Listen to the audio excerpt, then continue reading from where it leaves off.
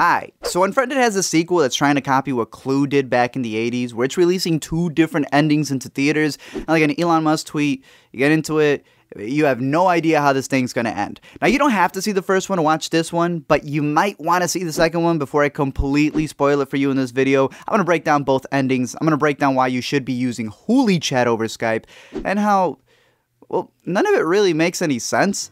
Let me explain. So right off the bat, my dude from Slasher Review sent me a pic of the projection instructions that they're sending out that pretty much just spoil both endings. One ending has the reveal of the cucuys that are haunting them as being real people, real dark web hackers, hence the title. But the other is that it's actually a really, really dark web and it's really demons who did it all. Reason why this is a little unswifty is because while the endings may be different, right?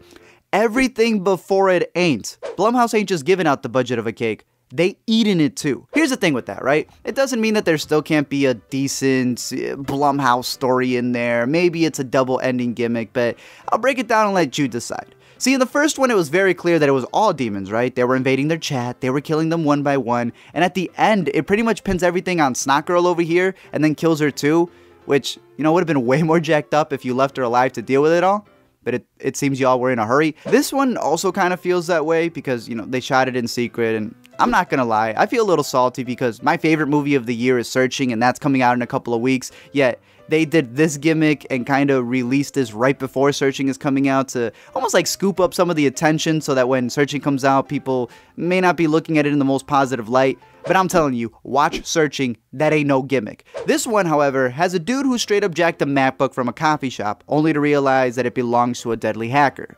Or a demon. Depends what ending you get since MoviePass ain't gonna let you double book. Him and his buddies do this game night on Skype all the time. You know, they got these two who are getting married, this guy who is Hemsworth from Black Hat, she mostly just sits there. And this man, man this man, imagine if Ryan from The Office hosted his own InfoWars. Main dude also has a girlfriend who he's trying to learn sign language for, but he's too lazy to learn it, so my man would rather legit Steve Wozniak a program that does it for him instead of him going to the classes for it. That's actually the reason why he stole the computer in the first place, since he needed more RAM to create that, but then my dude gets rammed with some glitches. See, with the first ending, you got a group of deadly hackers who get paid on the dark web to go kill people and capture it for the highest bidders online, and these dudes are making millions in Bitcoin. That's why this computer has like no space in it when he first gets it because there's like Poughkeepsie tapes that are being filed away in here. It's why the hackers find a way to swat one of the dudes, Exo Tour Life another, and pretty much have the big twist being that they actually left the laptop to be found because they wanted them to tamper with it so then they can blame all of their killings on these idiots right here. And then the last two gets run over because Moron's just standing in the middle of the street. Pretty much, ending one is like Nerve meets John Wick, where the dark web just pays the hackers to kill people for fun and then sends it out to them. The second ending is a demonic one.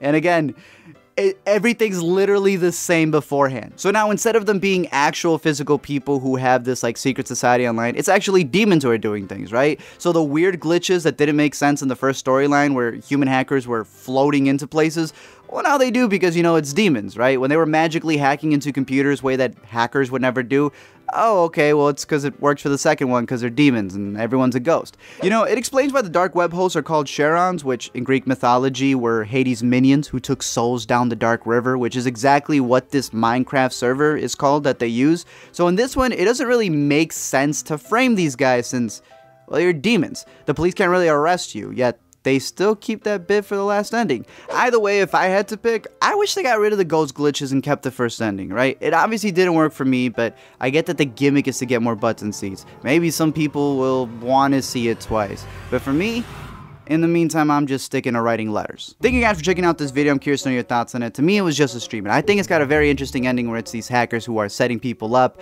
The second ending being just demons makes me wonder why the demons even needed to frame anybody or, you know, just, just keep doing your demon thing. But I'm curious to know your thoughts on it. There's a there's a little bit of a theory out there that the colors for the username of the Charons will, will switch. I think one is blue and one is red. And depending on what color they are, that will also kind of give you a hint of what your ending is going to be. The blue, I believe, being the, the human hackers, and then the red being the ghost hackers. But let me know your thoughts on this movie or anything else down below. Don't forget to comment, like, and subscribe, and I'll send you some Norton antivirus security.